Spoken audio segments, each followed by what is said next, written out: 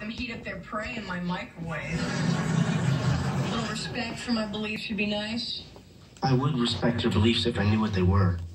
What are you talking about? You're such a hypocrite. You won't eat me, but your family makes its living selling meat.